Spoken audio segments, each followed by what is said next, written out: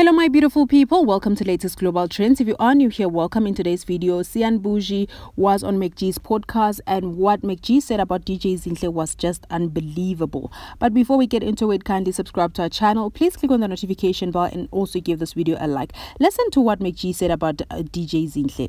No, I've never seen her actually Oh, okay. before, but DJ Zinhle, of course. You didn't get good energy from her? No, we met at H H and M actually, and it was just like so awkward. So Do you think it's because she knows you coming for her bags?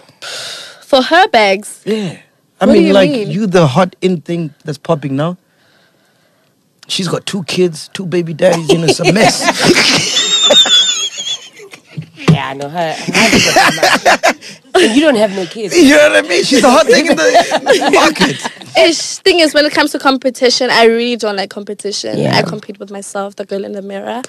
But Now, this is what a tweet said who MacG should try something else to comfort and hype Cyan, not with DJ Zinhle. They're not even in the same league to be competitors. Cyan coming for DJ Zinhle's bag. Kalu Yiva. Kalu Yiva. Oh my goodness, this must be Xhosa.